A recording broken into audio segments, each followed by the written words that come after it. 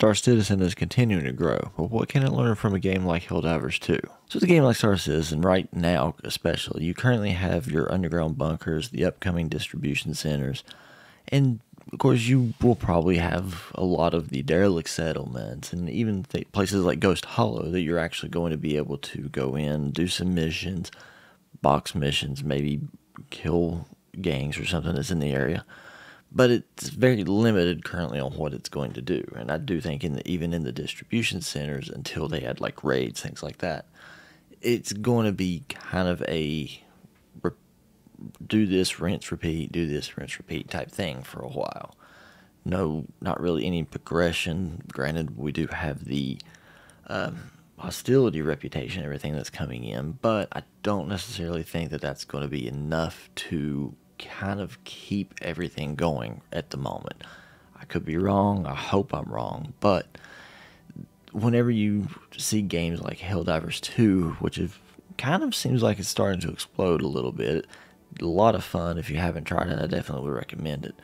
You start seeing things in that game that very easily could be added into Star Citizen. Um, adding the like the stratagems, for example, where you might have a group on the ground. There's another player who is in, in a ship above them, even if it's just a drop ship. Something they could drop down to you while you're on the ground. Something like a bigger gun, or even provide air support to to take out different things that are on the ground that you might be having issues with. Say you're hunkered down somewhere and you can't see where somebody is. Of course, you could have someone in the air kind of circle around, maybe shoot them from the air and be able to take take them out. Or an inbound ship or something comes in, just like in, uh, some of the derelict areas where reinforcements come in. It'd be great to, if you're on the ground, have some kind of an air support there to be able to take that out. I don't know if they would ever do something orbital with it, but I mean, hey, this be still kind of cool. But the main thing that you're getting with Helldivers is kind of the coordination gameplay that's there. It basically kind of forms its own form of storytelling between every person that's playing it you if you haven't tried it, like I said, definitely give it a shot, especially if you can get in a group. And they do have a pretty good voice chat system. Granted, I use Discord a lot whenever we're playing the game, but you can still use the voice chat in it as well. But it's more of the getting together, working together to clear these objectives, which very easily could also be put into Star Citizen hey, you go to Ghost Hollow, you have to find coordinates for something somewhere else. You go in, you clear out a whole area, you find those, you get extracted from it, and then go to the next area. I definitely think something like that could add a lot of variety into the game, as well as give you a lot of different things to do.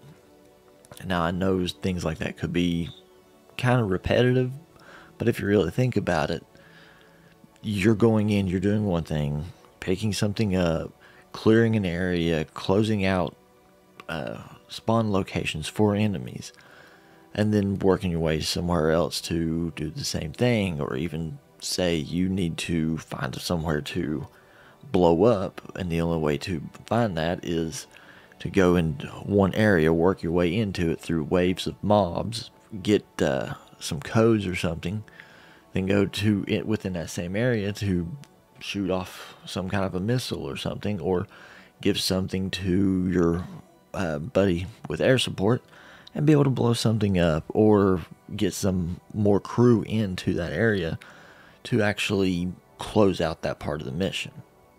There's a lot of variety that you could do within this to actually make it feel a lot more alive in it as well.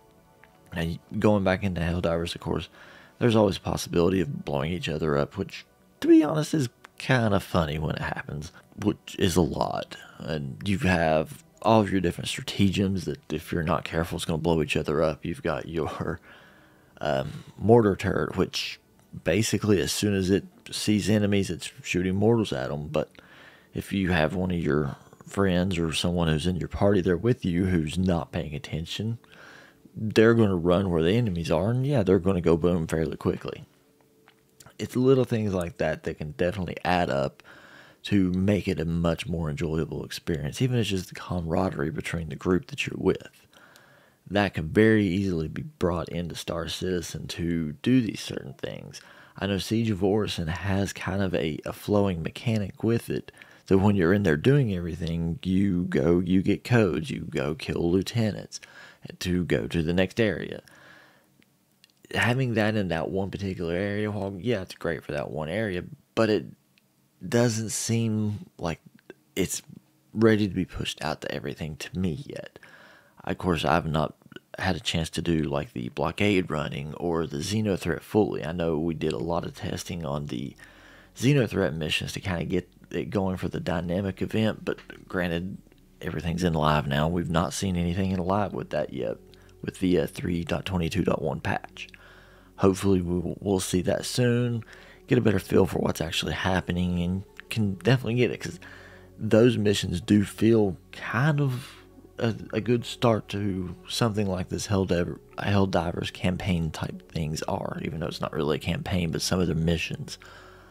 But being able to progress with those and, of course, getting better armor, being able to upgrade it, being able to get better weapons and upgrade it, it the little things like that that definitely needs to be included into Star Citizen. There's just not enough progression in it right now. There's not enough mission variety for like these kind of full group based type missions, except for your like Siege of Orison and Xenothreat, things like that. So, in my opinion, something along the lines of Helldivers, kind of mixing that gameplay into Star Citizen, I definitely think would be very fun. Would it be a constant? No, you've got too many things like racing you can do, of course, cargo missions, all these other things that you can do and take your time, still be playing the game, but be completely different way of playing it. And it will just add more variety so that everyone will be able to work with it. Now, whether it'll come to pass or not, who knows? I definitely think that some of the aspects of these games will kind of be combined together. And we've seen before, CIG's definitely not afraid to take things that they've seen in sci fi and other different games and stuff and try to say, hey, let's kind of see here. Not mention anything on the X-wing, or I'm sorry, the uh, I can't think of the name of it right off the top of my head. The Scorpius. So you see where I'm coming from on that. It's definitely something that CIG has done in the past, probably will do in the future, and I don't blame them. If it works for something else, it's gonna work.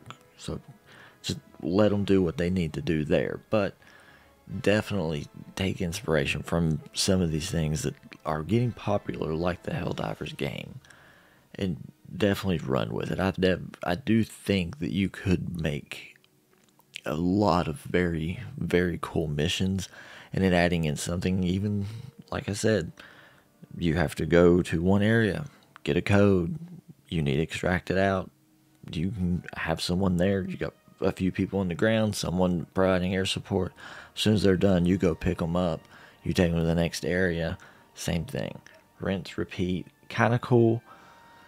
And then also, hey, you never know. They might need support from the air and just to blow something up or take out a big wave of enemies that they can't deal with on their own. It would definitely be cool to do. But let me know what you think in the comments, and I will catch you in the next one.